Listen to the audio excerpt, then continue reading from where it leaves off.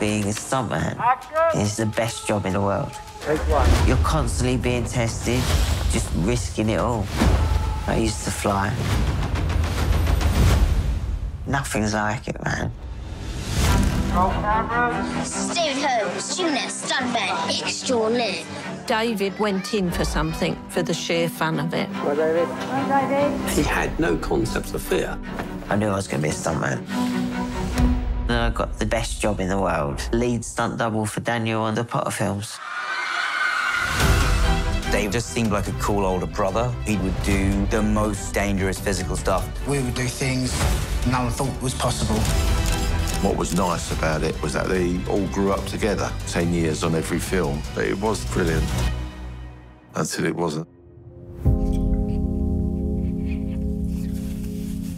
I remember straight after breaking my neck, I said, there's no chance of coming back. Worst day in the film business that I've ever had. It is unfair. He shouldn't have had to do any of that. In my mind, Dave's indestructible. This terrible thing happened to Dave, but I don't want to talk as if his life is a tragedy. The way his life has affected the lives of people around him means that it is the furthest thing from that imaginable. Three, two, one. Before my accident, everything was about being cool and being a stuntman. Now it's about being present. I have so much love in my life. All I needed a couple of thoughts and fans. You got your mum? You know, I had lots of great friends and I'm so lucky. I've had such a crazy life.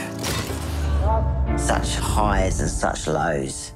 But I was able to find light in the darkest of places.